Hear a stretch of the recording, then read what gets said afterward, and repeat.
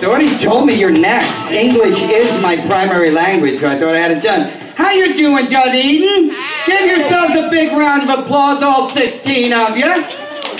The little gay guy is here. And I noticed you right away, sir, for a whole bunch of different reasons. You don't have to be gay to be in my spank bank, all right? Let me tell you something. I told you last week I was moving. I'm helping out my brother and his wife who moved here from Phoenix. I am living. 70 years old, my mother. I'm 50. You want to talk about being 21 and living with your mother? Try being 50 and living with your 71 year old mother. Where? And on top of the world, ladies and gentlemen. Yes, you have no idea. I got home from work the other night at 11:30. Okay, the guy at the gatehouse had the thing down. They never have the thing down. I tell you what, he quizzed me. Who's your mother? Where she lives? What's her dog look like? I thought I was going to have to pull out papers. Papers and identification to at the top of the world. And I got out front on the balcony, the veranda, to smoke a cigarette. And I'm looking around, I'm thinking, you have got to be the only one awake right now. If you're not familiar with the top of the world, I describe it like a Borg cube for the elderly. If you're familiar with Star Trek, it's like a Borg cube for the elderly. Uh, somebody asked me, are any of the ladies chasing you around? Fresh meat. Since when is 50 year old meat fresh? It is not. And as far as the chasing goes, it's top of the world. You ever see any of them run? I've had a couple of them shuffle after me, but I work out, so she couldn't catch up with me. They also have a gay and lesbian organization over at top of the world, and it finally entered my mind. A sugar granddaddy? Would I be hot at 50 to a 75? Ooh, that makes me throw up a little in my mouth just thinking about it. Who wants to wait in line with the kids and the grandkids when the lawyer reads the will with the family looking at me like, I hope the little homo doesn't get a dime. It could happen. Uh, living with my mother is very, very interesting. The other morning I get up, I had not had my coffee yet. I was doing something in the freezer. Is that the light or is it pictures? You didn't give me the light yet. Oh, pictures. 8 by 10s available in the lobby. Uh, but I looked at her and I said, please, Mom, please, do not tell me how to make ice. Please? Okay? Don't tell me how to make ice. Have you had ice when you were at my house? Who do you think made it? The ice fairy? Actually, the ice fairy did make it. I wrote the recipe down. I know how to make ice. Well, you're warm enough. Did you need another blanket? It's fucking June in Florida, Mom. The last thing I need is another blanket.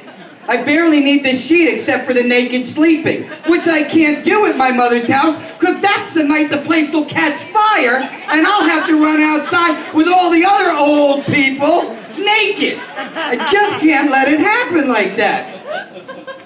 There was a lady last night walking her dog after midnight. And she's got a flashlight. I don't know if she had one of those old people things but the flashlights going everywhere. I thought Batman was coming. And I thought to myself, you know, I made fun of them. I've stood out there and I've ripped them all up. Look at her. You tennis balls on the walker. You go, Grandma. But I mean, she was walking her dog at midnight. And at top of the world, she was able to walk her dog at midnight. She was in a safe place. I know I talked to the guy at the gate. She was in a safe place where she felt able to walk her dog after midnight. And I thought, you go, and she's walking, she, she, she puts the flashlight on me. I'm like, you know, just a natural reaction growing up in the Bronx. You know. But uh, I said hello to her, and she said hello, and she said she's sick. And I said, oh, I'm sorry to hear that. Yeah, I'm going to take her home tomorrow, or take her to the vet tomorrow. And I said, oh, okay, well, good luck with that. And she said, yeah. And I could swear I saw her wiping a tear away. I don't know if she was taking the dog for medicine or taking the dog and not bringing it home. Uh-huh, that's how I felt too. I didn't cry or anything, I'm not that gay. But, you know, uh, I thought to myself, maybe she's lost her husband, her kids don't really give a shit about her, and here she is, that dog's probably the only thing, and I said, all right, God, I'm sorry I made fun of all these people here on top of the world, but please, God, please let her dog live. And what's left in this bucket? I'm glad I didn't get the first period one. I'm getting the last one. We can pick up a bunch of these. Well, I guess I can't take three or four of them now, can I? This better be a good one. Bananas. My mother's making me fucking bananas over at On Top of the World. Yeah, I don't, it's indefinite.